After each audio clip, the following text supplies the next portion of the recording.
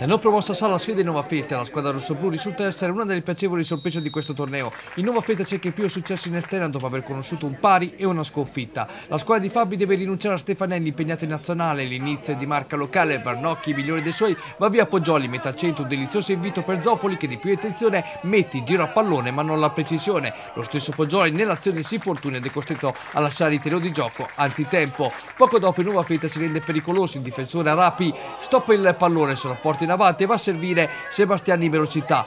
L'esterno non riesce a incidere come vorrebbe, non trovando l'equilibrio necessario. Dall'altra parte Pellegrini esegue una serie di finte chiamando all'intervento Brighi sul suo traversone. Più pericoloso sul versante opposto il traversone di Balducci che costringe Gollinucci a distendere il braccio per arrivarci.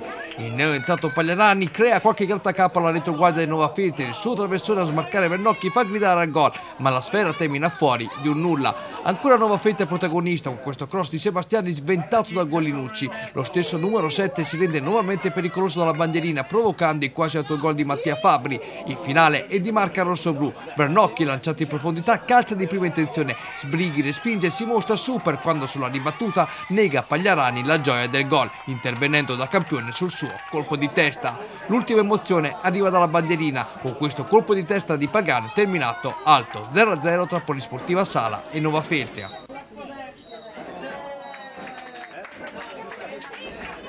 here.